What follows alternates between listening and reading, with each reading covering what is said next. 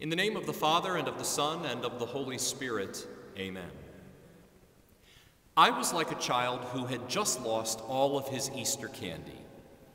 The year was 1967. I was four years old, and my parents were going out to dinner that night, which meant that they were leaving me at home with a babysitter for the first time.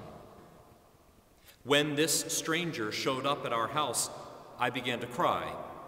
My parents gently explained that they were, in fact, coming back. But all I knew was that they were leaving me behind.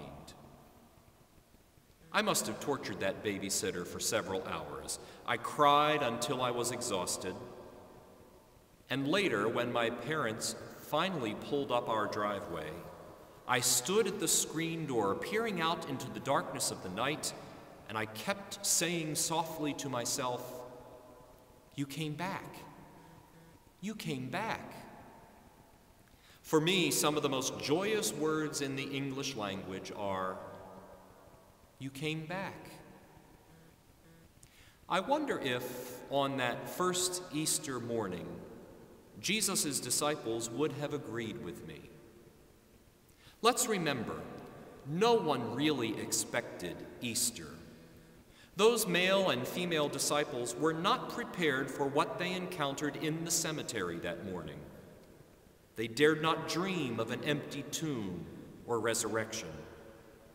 The gospel tells us that they simply did not understand what rising from the dead might mean. They didn't really expect Easter. But on the other hand, from the beginning of the beginning, God has made it very clear that He is in the business of life, not death.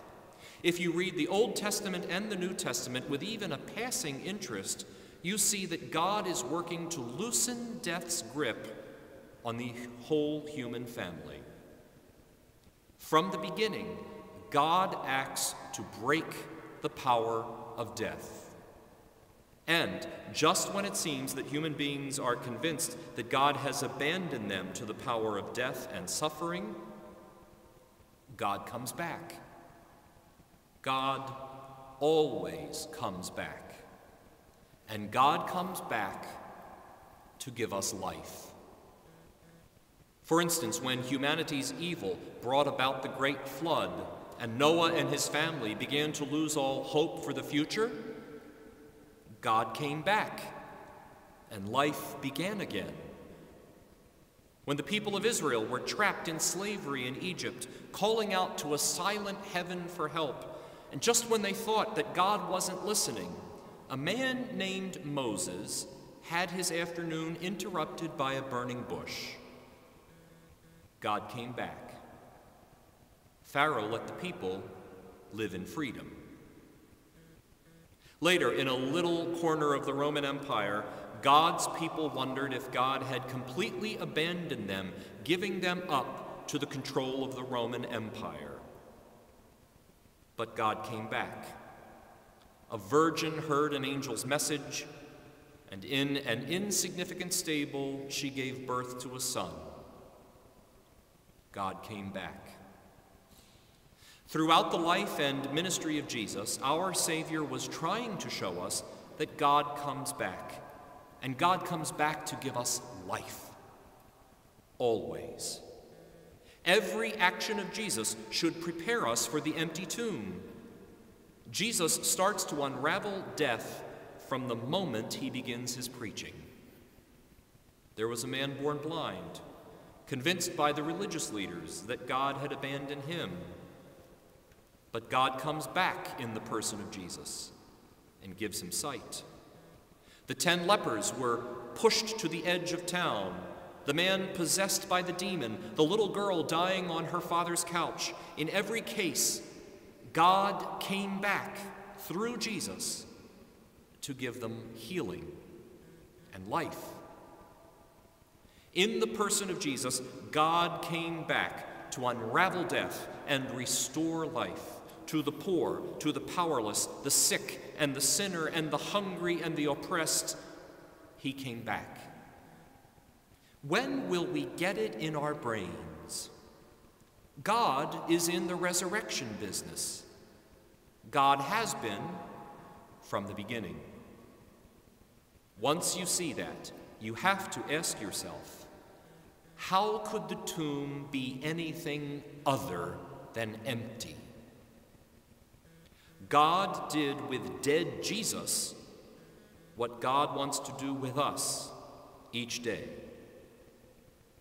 Easter is not just history. Easter is the mystery that you and I are called to share. Like a panicked four year old child, there are days when I still tremble in the face of what looks like death's victory. There are days and seasons when I feel as though God has left for good, and I am left with no one but my grief to serve as my babysitter.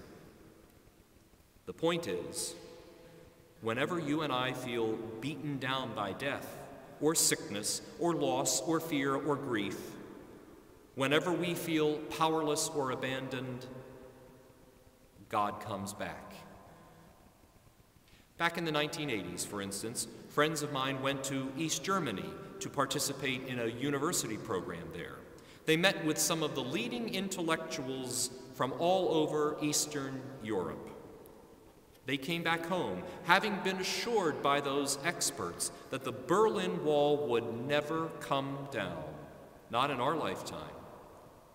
But two weeks later, two weeks later, God came back, and the wall came tumbling down. My friend was once told, Once you're a drunk, you'll always be a drunk. He felt like God had abandoned him to his addiction. But a coworker handed him a note one day which said, I was a drunk too and found a way to be sober with God's help. Let me know when you're ready. And God came back, and my friend recovered. A friend's wife left him after 13 years of marriage.